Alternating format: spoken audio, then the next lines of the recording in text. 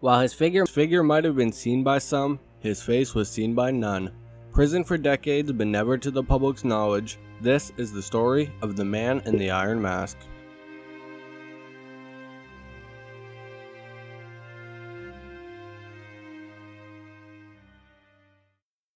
As recently as 2015, new documents about this centuries old case were discovered thought to belong to French jailer Benin Davern de Saint-Mars. Among them are letters between him and ministers serving under King Louis XIV. The letters were regarding a new prisoner. Benin was a French prison governor, which is kind of like a warden, at the time the letter was sent in 1669.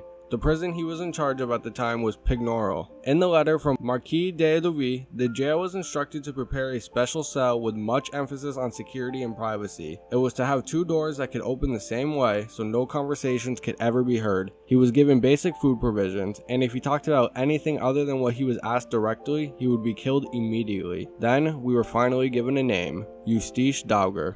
Historians have noticed the prisoner's name on the letter was written in a different handwriting than the rest of the letter, suggesting even the prison clerk didn't know who he was. The letter went on to say that the prisoner would be no trouble and that he was only a valet. Despite the lack of danger, he was never to be seen by other inmates and was to always wear a mask. It is thought that the prisoner arrived at the prison late August 1669. Pignerol was a jail far away from the royal court and designed to house only a handful of inmates, mainly people who were not deemed appropriate for society. In jail with the new prisoner was an Italian diplomat who supposedly double-crossed the French over the sale of a strategically important fortress town on the Italian border, a French man named Lauzun who was in prison for trying to marry the king's cousin without consent, and a former superintendent arrested for embezzlement. These new neighbors, however, would never see their new jail buddy's face. Based on many fictional and local lore accounts, the man was to always wear a mask made of pure iron. However, nowadays, historians agree that he probably wore an iron mask sometimes when he was out and about, but probably wore a black velvet mask most of the time. Whatever the reasons for locking up the prisoner are, it was clear that knowledge of his existence must remain limited. When supposedly richer and more powerful prisoners needed a valet, the masked man was considered. In 1675, the role of valet became open under prisoner Nicolas Fouquet, a financier jailed for embezzling the king's funds. He granted the masked man the job under the condition that he only work for Nicholas and only work for Nicholas while he was alone. While this was granted, Benin St. Mars told Nicholas that he must never talk to anyone about his new valet, especially to fellow prisoner Marquis de Lauzun. However, Lauzun was released shortly after all this happened, and even when freed, was never granted the knowledge of who the man was, securing the secret even more from the outside world. The mass prisoner was always wherever Governor Benin St. Mars was posted from Pignerol to nearby Exilles and in 1687 to the Lérins Islands, which is half a mile offshore from Cannes. By this point, guards transporting the prisoner had started to spread word about a strange man in a mask, and soon word got around the whole country. It said that while traveling, two musketeers were always by his side, and should he ever attempt to remove the mask, he was to die immediately. In 1698, Benin St. Mars made his last move to Bastille in Paris. It was in this prison in 1703 the prisoner would die. They said the man wore the same black velvet mask all the way to his grave.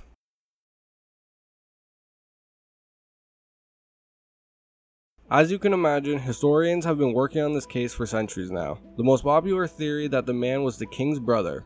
It's been suggested by French writer and philosopher Voltaire that the man was the king's illegitimate half-brother, while more modern Hollywood adaptations have said that he was even his twin. Another popular theory is that the man was the king's blood father, who was set up by plotting Cardinal Richelieu to impregnate the then queen without the knowledge of King Louis XIII. He then was sent to the Americas only to return and try to extort money from the crown. So it's theorized the king threw him in jail and masked him for fear his true identity would destroy the legitimacy of the new king. But Back to the name Eustache Dauger. Historians have found further information about Eustache Dauger. It was said he was the son of Cardinal Richelieu. In 1659, he was reprimanded for his role at a party that involved a satanic black mass ritual. It was said many men were arrested there, but there's no definite evidence if Eustache was actually there. It's also theorized he was arrested in 1665 for murdering a newspaper boy, but again, there's no definite proof.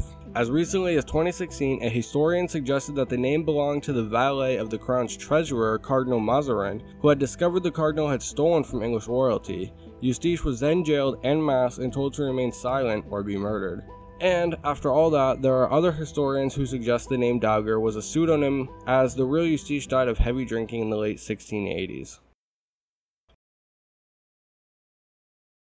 Between 1847 and 1850, the French writer Alexandre Dumas published in mass production his story The Vicomte de Bragelonne. In it, he writes about the king's twin brother being sent away as a prisoner to live out for years, forever masked to conceal his identical appearance to King Louis.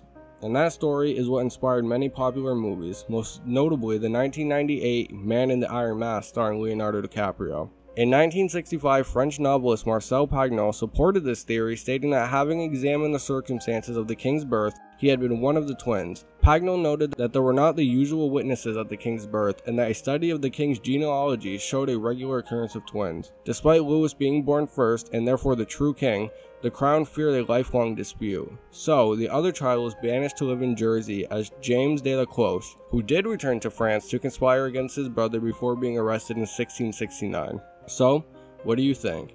The most popular theory is the twin brother, but I'm not so sure of it myself. There's a lot of good theories here, and it's just a really interesting story. I suggest you go do your own research if you're still uh, if you're still interested. Check out the movie and uh, check out this book too because it's really awesome. And yeah, that's basically all I have for you on the story. Uh, let me know what you guys think in the comments. Thank you for subscribing, liking, and commenting, and I appreciate it. See you again soon.